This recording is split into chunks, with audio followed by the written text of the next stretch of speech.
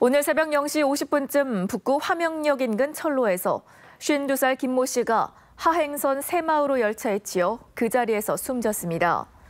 철도특별사발경찰은 김 씨가 출입금지 구역인 철로로 들어와 열차에 뛰어든 걸로 추정하고 목격자와 유족 등을 상대로 정확한 경위를 조사하고 있습니다.